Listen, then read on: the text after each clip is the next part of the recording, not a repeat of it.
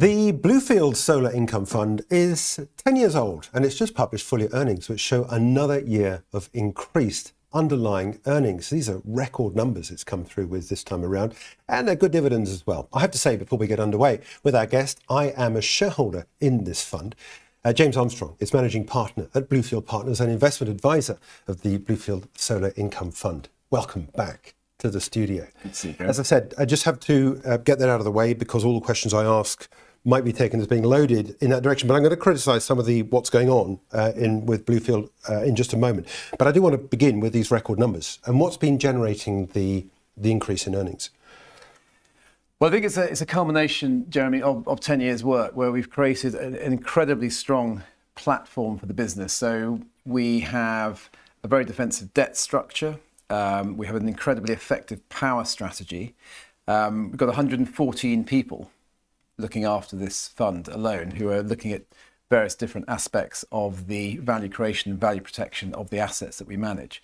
And you put those things together, and it's created um, record earnings, as you say. So we've delivered, we've got two times um, dividend cover, um, so record dividend, highest ever dividend. And you put it all together, and it's the fact that we've had, got a very, very protective defensive um, capital structure, which means that we're benefiting from higher power prices. We're benefiting from inflation because we have uh, the majority of our revenues are di- directly linked to RPI. So altogether, it's just been a very, very good um, earnings period for us. For those that don't know about the fund, explain more about where the earnings come from, because you're not just solar, are you? You're battery storage as well. Uh, and you have, over the years, accumulated some really good assets, haven't you, which pay unusually high yields because you bought into them at a point when there was a benefit to do so. Yeah, we're, we're one of the highest, on a pence per share basis, one of the highest dividend payers uh, in the infrastructure sector, not just the renewable sector. Yeah, so the, the, there's very, very high quality defensive revenues. So you have a base which is uh, ROC revenues. Actually, I should just clarify the majority of our assets uh, are overwhelmingly our solar assets, mm-hmm. which are the most defensive, predictable of those um, of those types of assets. And you have regulated revenues, which are RPI linked, called ROC revenues, and they run out for the next 12, 13 years, RPI linked.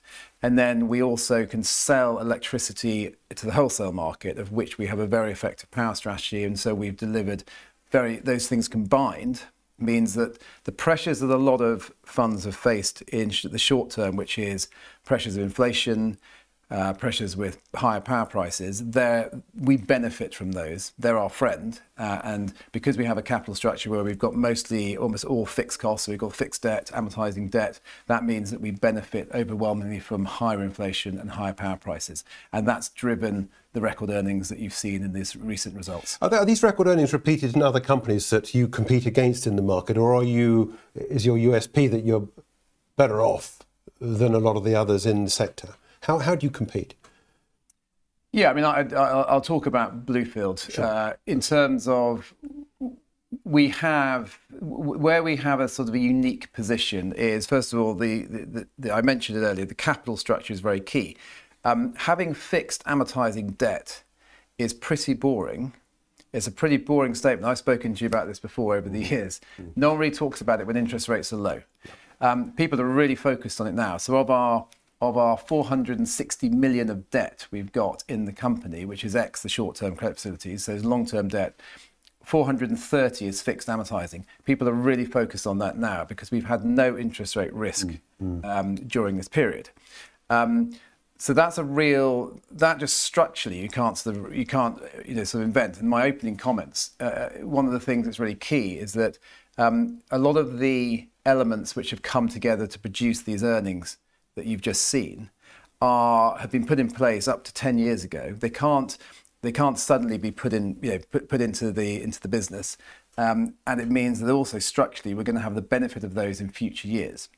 So you, you have a kind of a, a, nice sort of confluence of factors, which is which is going to drive earnings going forward. So in short, yes, our earnings in terms of when you look at earnings levels, dividend cover, dividend paid, yes, we are um, the highest um, of our kind in the sector, and there is a material difference between our earnings and dividend cover and others in our sector. Mm, okay. Um, you, you, mentioned the, the debt. Uh, you mentioned the short-term credit facility as mm. well, which I believe has been expanded. It's about 130, 150 million. I think you've now got available, haven't you?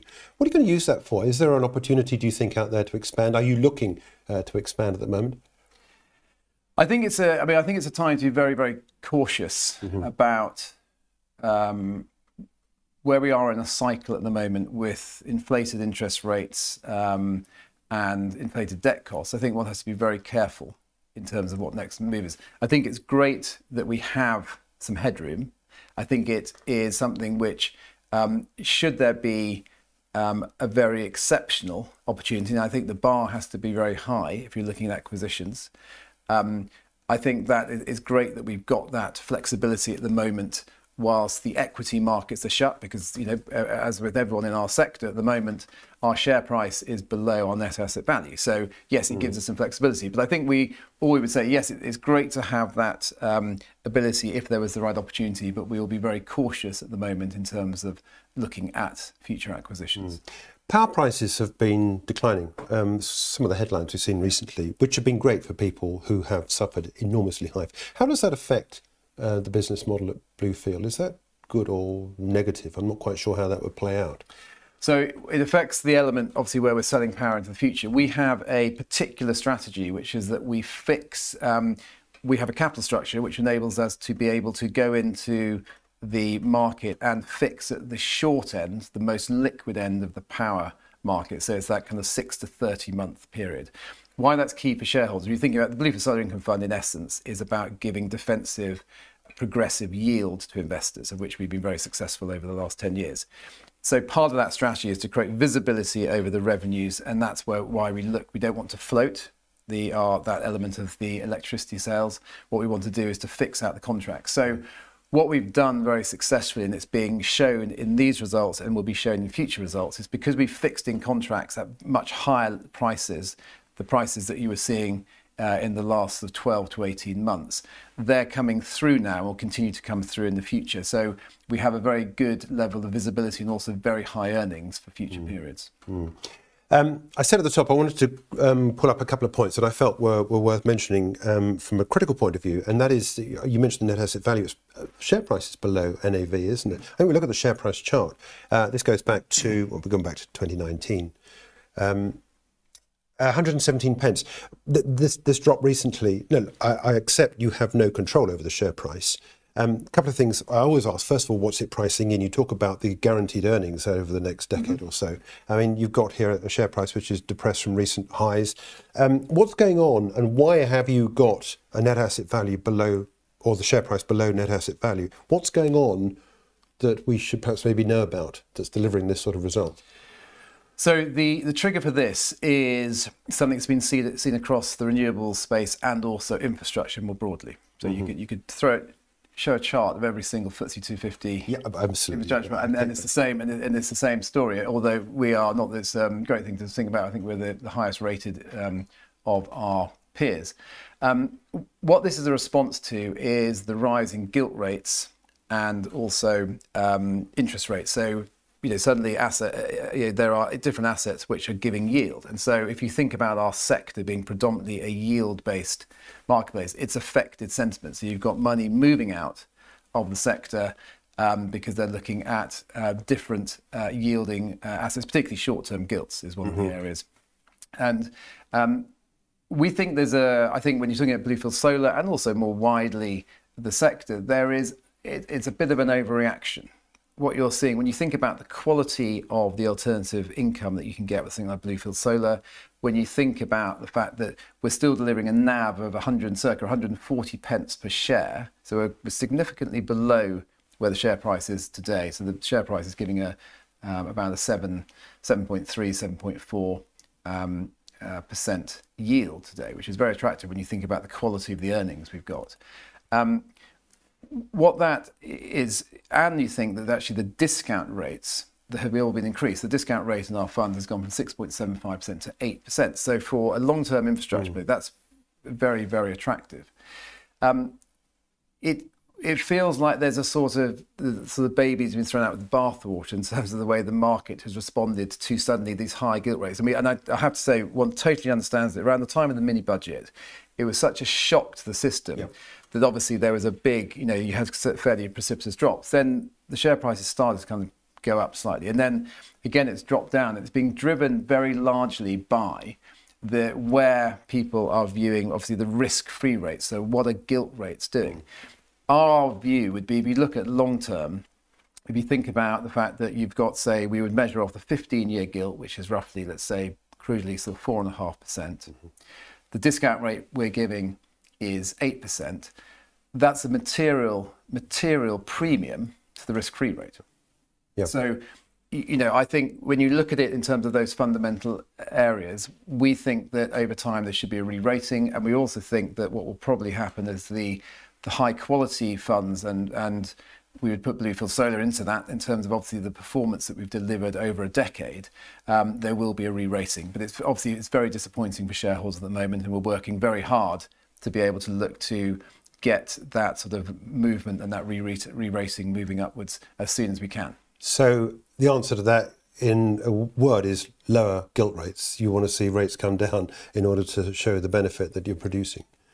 Yeah, I mean, lower gilt rates again. I think you've got to see. I think there's two elements. I think you have to look at the um, what is viewed as a top to the interest rate cycle mm-hmm. is also uh, affecting sentiment. I think certainly stability in the gilt rates. I mean, you know, I, I think it's yeah. uh, you know where the gilt rates will go. I think we need to see some some element stability, stabi- yeah. stability, and then then you can look at, uh, as an investor, you can say gilt rates are stable, and then you can look at that risk premium. Yeah. And, and then you can, you know, our view would be something like Bluefield Solar looks very, very attractive in that. So I think it's more about sort of stability and seeing a top in those markets. I have to say, I, I talk to a lot of AIM companies, and they're all saying the same thing. I mean, it's exactly this. You get uh, quality companies, tremendous value being created for those that are prepared to fish at the bottom yep. if they're prepared to stick their neck out and go for a bottom. So anyway, that's another story. Um, just wanted to quickly catch up with you one final area, um, where we go from here. Um, share price aside and what you want to see in order to try and encourage people to understand more about the mechanics of the business and how it creates value for, for investors, what are you doing in the next 6, 8, 10, 12 months uh, that's going to push the company forward? Well, I think it's going to be, you know, it's more of the same. I think we've got this platform that I mentioned in my opening comments where we've got a tremendously solid business which has great characteristics, to say a very defensive uh, capital structure, very, very effective uh, maximization of revenues. And we also have a, a very large proprietary pipeline mm. of deals because uh, the, sort of the DNA of Bluefield has always been to build out and how we've created so much value for shareholders historically has been in that primary market. So looking at creating new solar, particularly solar capacity.